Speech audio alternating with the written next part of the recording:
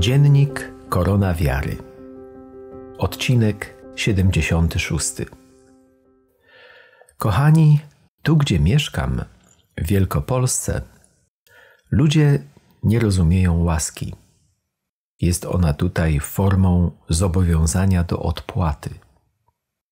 Zresztą nie wiem, czy gdziekolwiek ludzie ją rozumieją.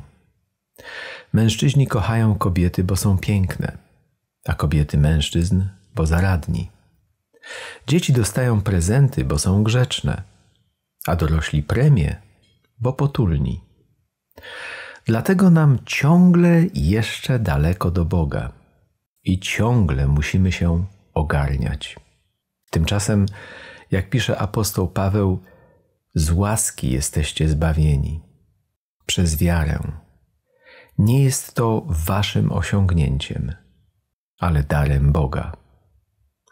Nie stało się to dzięki uczynkom, aby się ktoś nie chlubił.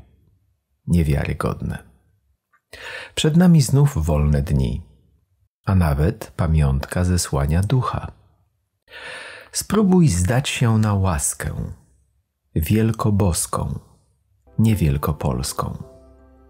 Przećwicz ją dziś na własnym traktowaniu bliskich.